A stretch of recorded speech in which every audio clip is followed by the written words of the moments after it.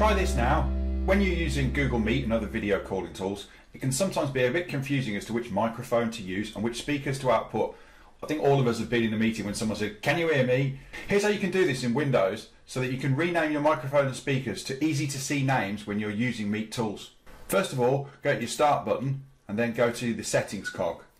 Then you want to bring up System, Sound. When you get to Sound, you'll see you've got Output and Input. Output are your speakers, and you have an option here for Device Properties. Click on Device Properties.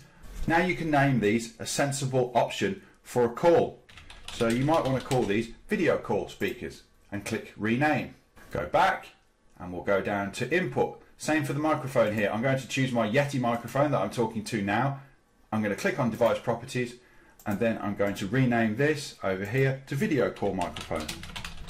And that's renamed. And I go back again. Now you can see I have video call speakers and video call microphone.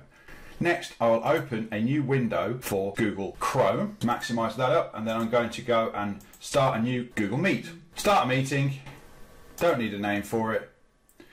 Click on the three dots and choose settings.